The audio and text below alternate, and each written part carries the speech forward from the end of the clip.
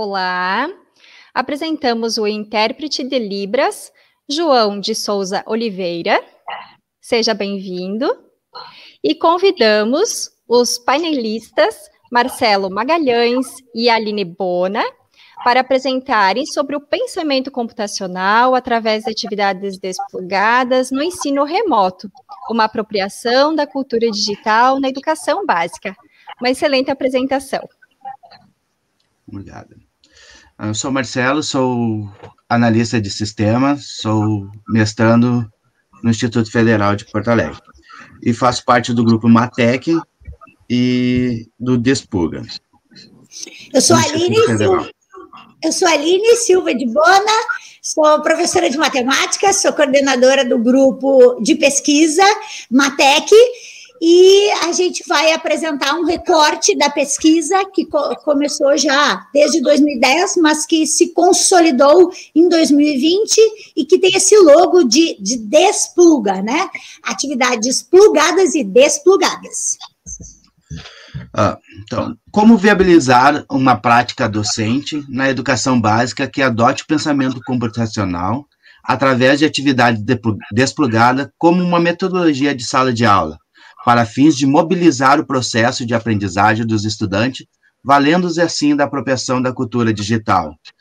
Isso através de atividades investigativas sendo ancoradas em conteúdos previstos na BNCC, para cada, para cada disciplina. Esse é um recorte de uma pesquisa, já é como a Aline falou, né, uma pesquisação do grupo de, de multidisciplinar do MATEC, do Instituto Federal do Campus Osório, que faz parte de pesquisa e extensão de ensino com ensino remoto realizado em 2020, com ações de formações de professores, cursos orais para professores e estudantes do ensino fundamental, médio e licenciados, do, aqui do litoral norte gaúcho. E o nosso objetivo de estar aqui com este painel é compartilhar compartilhar essas conceituações teóricas do pensamento computacional, essa perspectiva de que se faz necessário a escola mobilizar a aprendizagem. A gente tem que encantar os alunos, né? Como é que diz Paulo Freire? Cada professor dono, né, da sua ciência precisa de alguma forma mostrar para os alunos que aquilo é lindo, aquilo é bonito, aquilo é legal de se aprender. Então, uh, a, a, gente vem construindo né, atividades, seja na modalidade de ensino, de extensão, de pesquisa, interdisciplinares, que contemplem várias uh, conceitos, mas sempre tendo aquela essência de que a escola é importante, os conteúdos da escola são importantes, estar na escola é importante, porque a perspectiva do nosso painel de aprendizagem é piagetiana. E para o Piaget, a gente constrói conhecimento a partir da interação interação com os objetos, interação com as pessoas, e é isso que a gente entende que essas atividades precisam mobilizar né? O fazer as atividades. E aí a ideia do investigar é essa. Um problema que eu vou mostrar em seguida que me permite uh, mostrar o que eu sei, mostrar a minha cultura, mostrar a minha, a minha, compreensão quanto à matemática, quanto à música, quanto à educação física, faz com que eu seja parte desse processo. E o pensamento computacional, ele entra exatamente neste momento. Se o pensamento computacional é uma arte para resolver problemas, né? Como a Janete diz, ele é uh, um meio para fazer o computador pensar, como o Paper lá em 1900 já disse. Então, ela, o aluno precisa entender que a forma com que ele expressa a sua resolução para as atividades, que está apropriada de uma cultura digital que não é a minha, por exemplo, que nasci em 1977, tá? Está sendo valorizada, está sendo contemplada na sua resolução de atividade. Então, algumas considerações no outro, o anterior, Marcelo.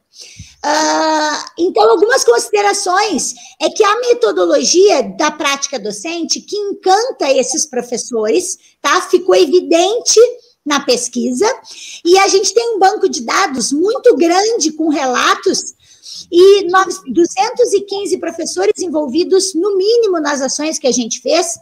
197 deles disseram que legal, eu vou usar essas atividades, eu vou adaptar as minhas atividades.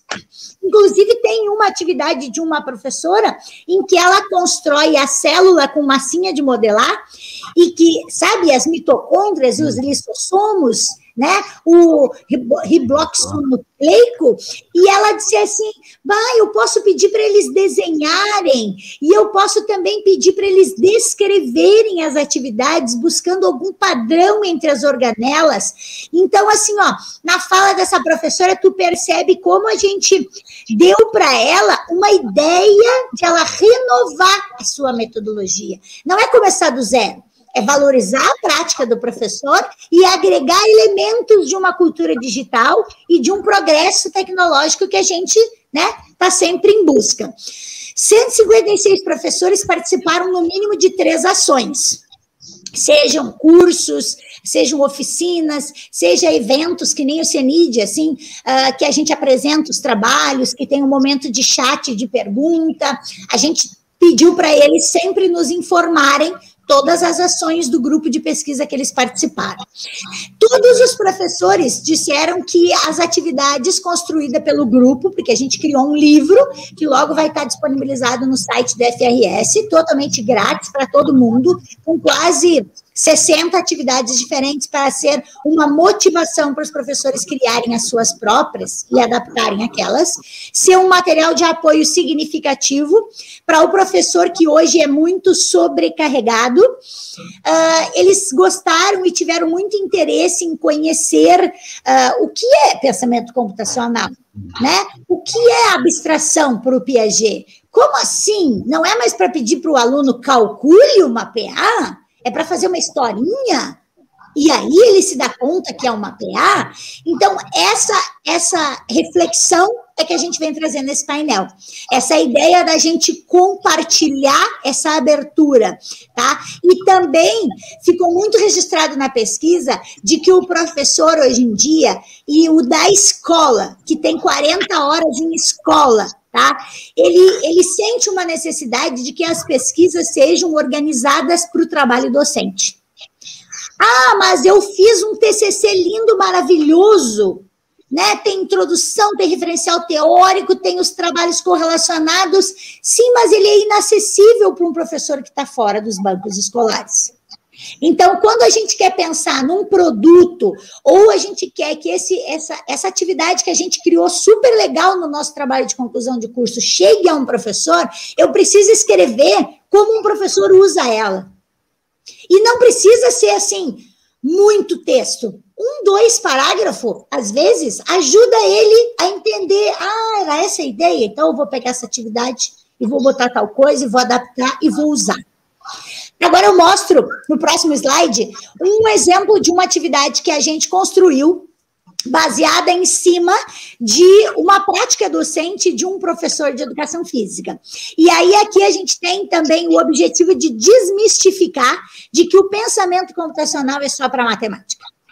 Né? Como a BNCC coloca. Uh, todas as disciplinas trabalham pensamento computacional. Todo mundo pode uh, trabalhar uma ação de investigar. E, inclusive, existem muita aprendizagem em espaços não escolares. Na entrada da escola, na saída da escola, como a gente, quando vai participar de um evento, né? A gente não fica nos corredores conversando, a gente não troca ideia, a gente não está aprendendo a gente está aprendendo. Então, essa atividade é uma atividade de educação física, em que o professor pegou da internet essa figurinha para fazer a brincadeira do vai e vem. Sabe? Aquele que a gente senta juntinho, um pega a mão do outro para alongar as costas, e um puxa e o outro puxa, e a gente brinca. Ele propôs isso de uma maneira remota, mas olha como ele trabalhou o enunciado dele. Olha como ele propôs para as crianças. Ele não chegou para eles e disse: Pessoal, todo mundo aí na frente do computador? Muito bem, pega o colega, ou o pai ou a mãe que está contigo, senta, puxa o braço dele, puxa o outro braço. Ele não disse isso, ele disse: agora vamos fazer exercícios, vamos se mexer, vamos se divertir. Como fica? Né? Olha, olha, olha a proposta da atividade. Escreva com as suas palavras ou com desenhos quais são os passos para realizar esse movimento do vai e vem. Se você fosse professor por um dia, como você ensinaria o seu aluno a fazer o exercício do vai e vem? Então, ele convidou o aluno para pensar em como ele faz o exercício, como ele vai convidar alguém para fazer o exercício com ele e como ele vai escrever para alguém entender o exercício. Seja por desenho ou seja por texto, tá? Essa atividade foi feita com um aluno de sexto ano, né? Então, não sei se todo mundo tem ideia da idade, sexto ano são 11 anos. E como assim para uma criança de 11 anos ser professor por um dia? Que legal! Eu quero ser professor por um dia. E aí eles criaram a resolução. Ali tem um recortezinho pequenininho que diz assim: para começar. Então, olha que a criança consegue decompor como tem que ser feito esse exercício. Senta cada um, né? Aí depois ele coloca ali uh, que tem que pegar o bracinho de cada um, sentar um de frente para o outro, né? Juntar os pés. Então ele está descrevendo, né? E significa que ele reconhece a ordem dos passos, né? Eu não posso pegar primeiro a mão da minha parceira ou do meu colega e depois sentar, né? A gente senta e depois pega a mãozinha. Quando a gente faz isso, a gente está trabalhando lógica, a gente está trabalhando reconhecimento de padrão, né? A gente está trabalhando fazer e o compreender da criança. Quando ela apresenta um colega que ela escolheu para fazer a atividade, ela sabe que ela não pode fazer com o pai ou com a mãe, ou então, teve crianças nesse relato em que eles disseram assim: ó, professora, eu não posso fazer atividade. Eu tenho 1,50m, minha mãe tem quase dois. Não vai dar. Então, é uma percepção fantástica. Está trabalhando lógica de matemática com isso. Aí eu pedi para a mãe e para o pai fazer, aí deu certo, porque os dois têm quase dois metros. Aí depois ele bota assim, para começar a atividade. Então, ele dividiu ele construiu elementos de abstração. Ele está tentando criar um algoritmo, né, para ensinar o seu aluno. E esse é um ponto muito significativo na fala dos professores desses alunos, tá? Porque tu fala com um professor de educação física, que foi o que propôs essa atividade, como é que ele teve a sua formação fazendo? Ele faz um vídeo, ou ele pega e ele faz, tá? Ele faz a Dois atividade. Minutos, Aline. Ele faz a atividade. Então, o que, que acontece? É diferente da proposta que a gente traz aqui. Ele em nenhum momento fez a atividade para o aluno. Ele mostrou a figura e ele instigou a sua construção. Olhando para a figura, como você acha que você vai fazer? Então, o objetivo do nosso painel era esse, tá? Era compartilhar uh, essa importância das práticas da escola, de mudar um método, uh, de mexer uh, com conceitos que parecem simples, mas que eles têm uma amplitude significativa muito grande. Muito obrigada. É